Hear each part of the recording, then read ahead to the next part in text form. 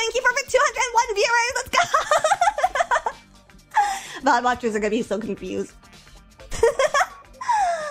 but yeah, hey guys, thanks for hanging out. We're just we're just talking. We're just um shooting the breeze. Shooting the breeze. I always growing up, I always said that phrase wrong. Because I would confuse that with talking shit. So, like in normal conversations, instead of saying shooting the breeze or talking shit, I was just like, yeah, we're just shooting the shit, and and then like, I, I, I don't know when it happened. I don't know when it happened, but eventually someone like called me out and told me that's not a real phrase, and I was just like, what?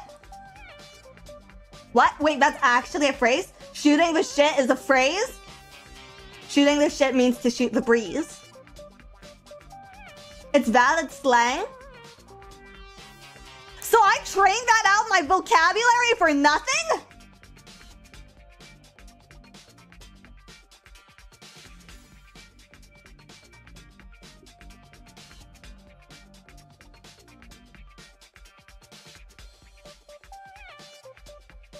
I've been gaslit.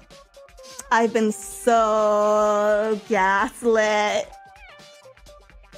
I'm I'm so mad right now. You guys can't tell. I'm actually so I'm insanely angry